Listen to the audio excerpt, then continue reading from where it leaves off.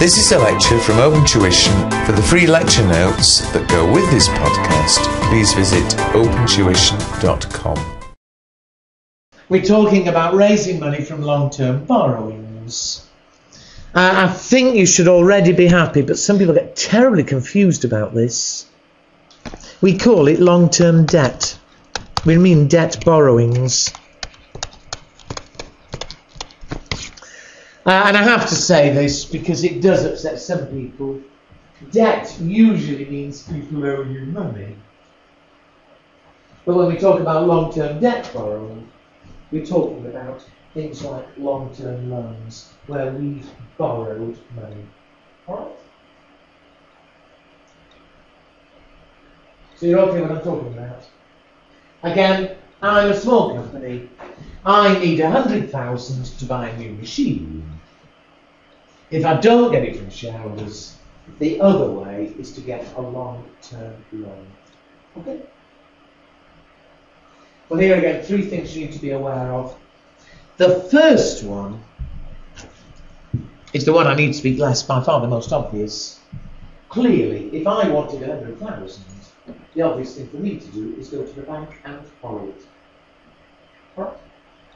Would you agree? You know, we got long-term money. You know, we talked about short-term money last time, but long-term money, I'm buying, you know, trying to expand the company. I'll go and borrow, go to Hansa Bank and borrow a hundred thousand for ten years or something, a fixed loan. Right? Well, I don't really need to say much more there. The first is simply a long-term loan.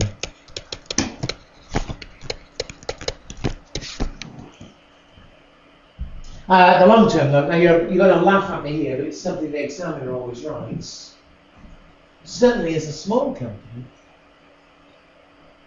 I think even before I went to the bank, the first thing I'd do is see if I know any rich people.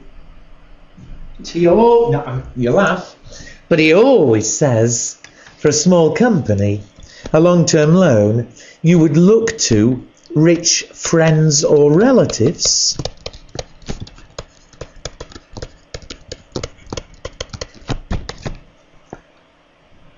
Or, of course, if you didn't have rich friends or relatives, you go to the bank. So, sorry, there's nothing magical, it's only for written. The trouble is, it's almost too obvious and people don't write it, but sure, if you were a tiny company, if you've got a terribly rich grandmother, I think you'd ask to borrow money there first, rather than go messing around with Swedbank or something. It's common sense. Alright? All right, well, I referred to before about small companies, large companies. Clearly, a large, Lattelecom isn't going to look for rich friends or relatives. That would only be relevant for a small company.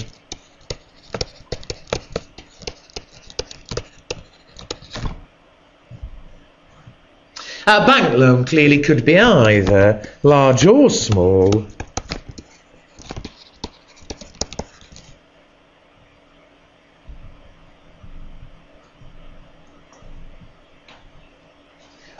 Is, though, certainly for a large company,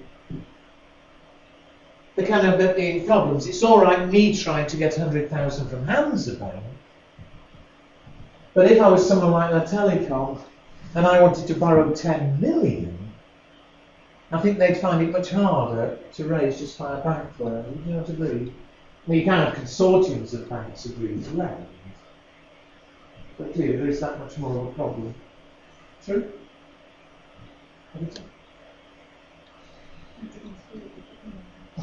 Oh, that's probably my fault. I'm sorry. I said uh, a bank loan. If it's simply I want a hundred thousand, obviously go to the bank and hopefully they'd lend it me. But if I was someone like Lattelecom and I wanted to borrow ten million, I think it might be a bit harder you certainly have a job finding one bank to lend you 10 million. You know, perhaps you can have a group of banks to lend it, but there is that problem. Well, fine, I don't need to say more there. You all know what a loan is. However, large companies have another way of borrowing which isn't available to small companies. And it's called traded debt. And this is what I need to say a few words about. It's a combination of terminology, um, well, really only terminology, a couple of very easy numbers. But without him expecting pages and pages, you'll never expect very much. You must know what we mean by traded debt and how it's actually referred to. Alright? Uh, before I explain, you'll see why, but I will write down immediately. This is only available to large quoted companies. You'll see why in a minute.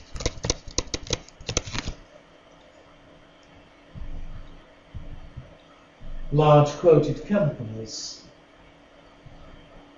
There's no way a small company like mine could do this. The only way I could borrow money is an ordinary loan, whether it's a friend or whether it's a bank. Right?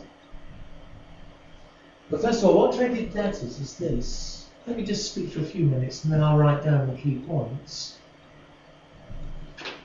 Suppose I am a large company and I wanted to borrow a million. Well, instead of just going to one lender, what I can do is this.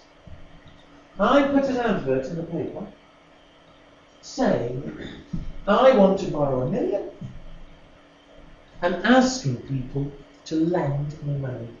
I'll tell you what rate of interest I'm uh, offering. I'll say I want to borrow a million. I'm offering 10% interest. Uh, I'll repay the money in 10 years. So all the terms are there. And I ask people to lend me money. Uh, and I say, lend me whatever you like. I'll say, you have to lend me in units of $100. I say, I'll write all this down, but there'll be a little coupon with the advert. Laura is prepared to lend me a thousand. She fills in the coupon, sends off a thousand. Uh, Marita looks quite rich. She's going to lend me ten thousand, and so on. But you all lend what you want to lend, if you understand me. I send you a certificate. Just like shares. You know, if you buy shares, you get a share certificate, although these days it tends to be electronic. But I'll send you a certificate saying, you've lent me this much money. She's at the a thousand, she's at the ten thousand, whatever. And from then on, every year, you'll get 10% interest on the amount you lent me. And in 10 years' time, or whatever I promised, I'll repay the amount. You are still with it? It's just like issuing shares. You know, if you issue new shares, effectively you do, mean, genuinely, there's an advert in the paper with a bit you can cut off. If you want to buy shares, you know, you fill in the form and you send your money. Well, here, exactly the same, except you lend me a thousand, you lend me ten thousand. I send you a certificate, and from then on, whereas shares obviously you'd be hoping you get a dividend, with these, you will get the interest each year and 10 years or whatever, I will repay you money. Say again? And yes, I'll tell you what we call them in a minute. Are various names that can be given. But again, is everybody with me at the moment? However, the last thing, before I write anything, what makes these beautiful is if I just get a loan from the bank, or if I just go to a rich person and say, Mary, to lend me 10,000, an ordinary loan, she then has to sit and wait 10 years before she gets the money back. Alright?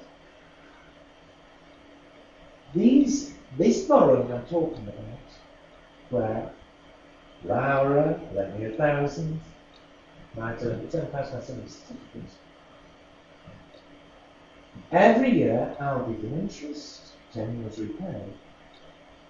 But these certificates are traded on the stock exchange just like shares.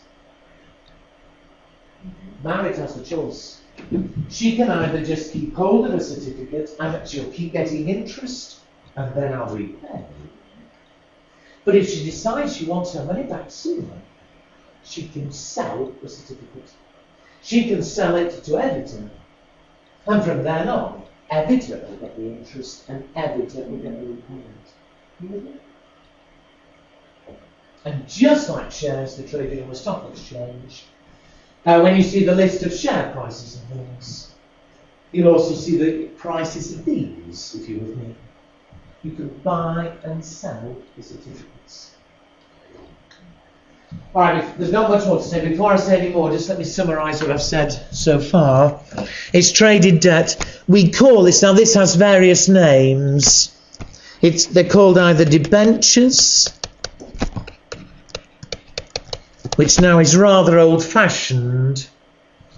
More commonly these days, loan stock or loan notes.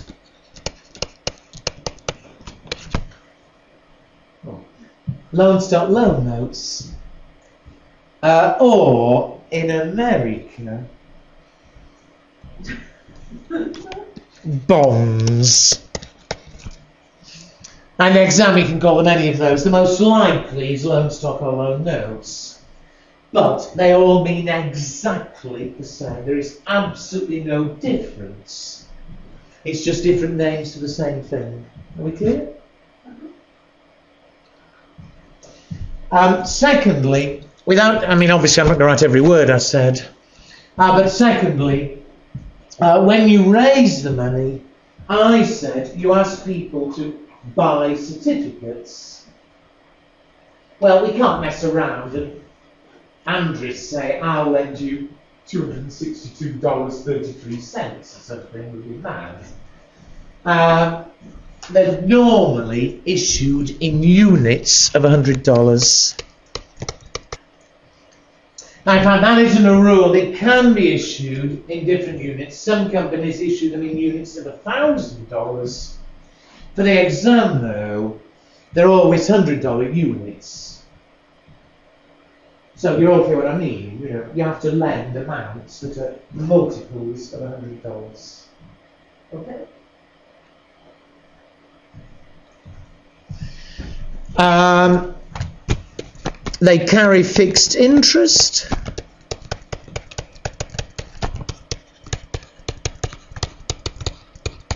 Uh, they're repaid on the due date.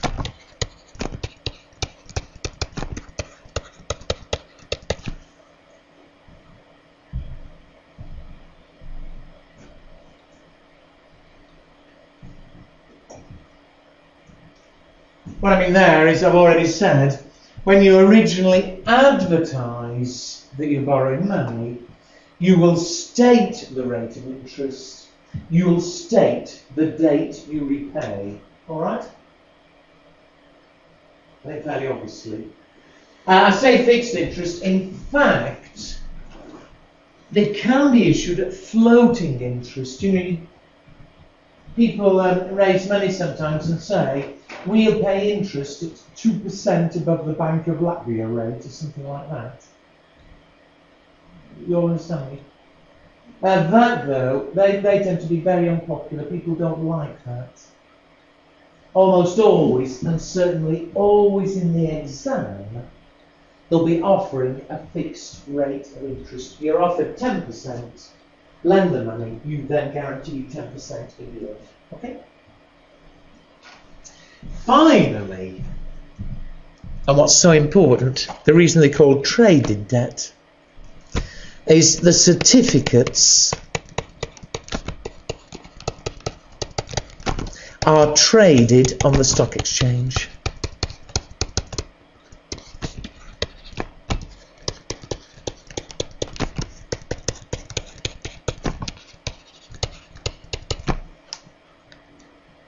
You know what I mean? You can buy and sell them just like you can buy and sell shares. It's exactly the same. All right, shares, you effectively own the company and you get dividends. Uh, debt, traded debt. You don't own the company, you're not a shareholder, obviously. Uh, and you get fixed interest, but otherwise you've got a certificate you can buy it, so yeah. Okay.